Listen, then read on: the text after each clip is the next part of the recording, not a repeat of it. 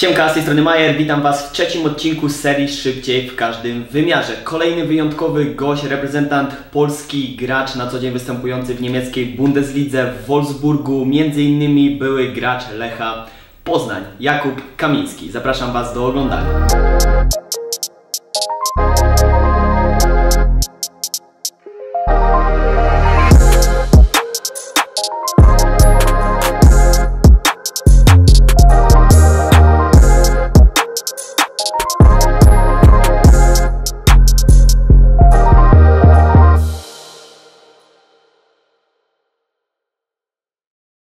Ćwiczeniu numer jeden zadaniem Jakuba jest jak najszybsza reakcja do stożków w miejscu znikających kwadracików. Wykorzystujemy do tego narzędzie do obserwacji, które stworzyłem na telefon. W materiale wideo na planszy znajduje się 8 czerwonych kwadracików i jeden z nich znika co jakiś czas w miejscu ustawionych stożków naokoło kuby. Najważniejsze w tym ćwiczeniu jest to, aby następowała reakcja po reakcji, a w tym celu zmuszeni jesteśmy do ciągłego podnoszenia wzroku do góry, a także skanowania przez ramię, rozwijając przy tym kontrolę nad piłką. Do tego, jako że musimy znaleźć się w miejscu znikającego kwadracika jak najszybciej, wymuszamy na sobie szybkość przetwarzania informacji, które zobaczyliśmy wzrokiem, czyli właśnie szybkość reakcji, aspekt, który ma ogromne znaczenie dla Twojej skuteczności w meczu.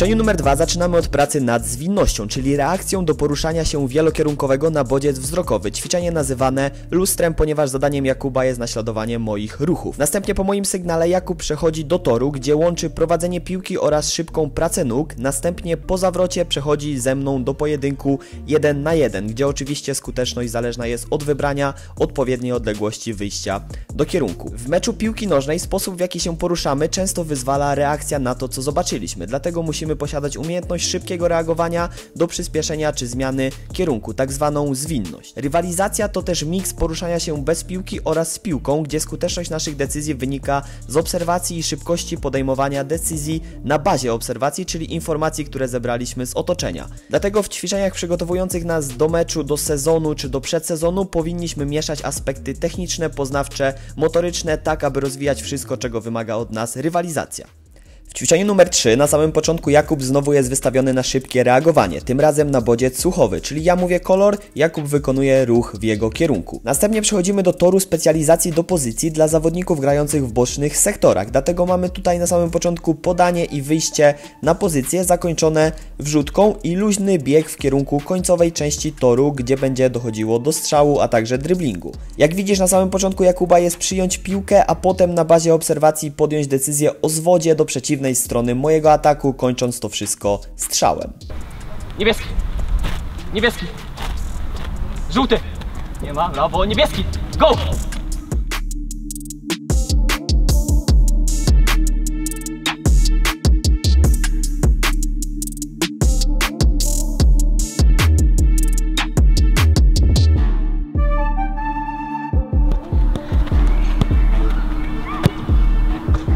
Pomarańcz. Pomarańcz. Żółty. Niebieski. Hop.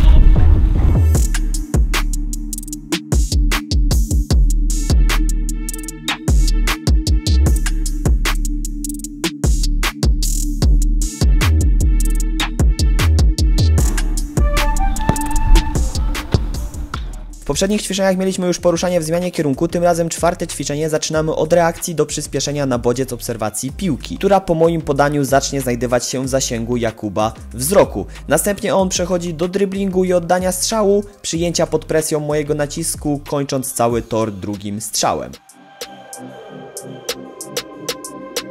Jak już wiesz, w rywalizacji nasz ruch wyzwalany jest poprzez obserwację. Często akcje rozpoczynają się na przykład po zbiórce drugiej piłki, gdzie wygranie pojedynku z przeciwnikiem nie jest zależne tylko od prędkości biegu, ale także szybkości myślenia o tym, aby pobiec.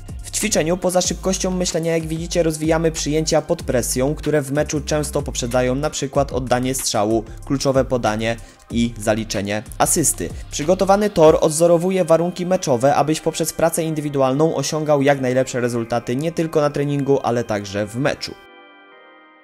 I to by było na tyle. Dziękuję za oglądanie i wierzę, że przekazana wiedza i narzędzia zostaną przez Ciebie wdrożone w działanie, bo to jest najbardziej wartościowe, jeżeli weźmiesz te wszystkie wskazówki teraz i wdrożysz swój trening indywidualny tak, aby przynosił Ci skuteczność w rywalizacji, bo właśnie aspekty poznawcze takie jak obserwacja, szybkość reakcji, szybkość decydowania, a także Twoja wiedza taktyczna, która może być rozwijana na przykład podczas analizy swojego własnego meczu lub analizy gry najlepszych będzie wpływała na to, że będziesz podejmował skuteczniejsze decyzje, a skuteczniejsze decyzje będą budowały Twoją pewność siebie i tworzyły takie koło zamachowe do podejmowania nieustraszonych decyzji w rywalizacji. Wszystko to właśnie ma zaprowadzić Cię do tego, abyś podejmował skuteczniejsze decyzje w meczu, a nie osiągał tylko i wyłącznie efekty na treningu. Tego Ci oczywiście życzę, abyś szybko reagował, obserwował i na tej podstawie podejmował decyzje, a Twoja drużyna dzięki temu będzie wygrywała. Oczywiście nie zawsze będą takie mecze w sezonie, że nie zawsze uda Ci się wygrać, mimo że włożysz ogrom pracy w to, aby jakość Twojego treningu była na najwyższym poziomie, ale pamiętaj, że zdarzą się też takie mecze, gdzie to właśnie Ty będziesz robił grę poprzez to, że właśnie rozwijasz te wszystkie aspekty i budujesz przewagę nad innymi. Dziękuję jeszcze raz za oglądanie i widzimy się w kolejnych odcinkach na moim kanale, a na pewno pojawi się coś jeszcze bardzo ciekawego i wartościowego, mam nadzieję.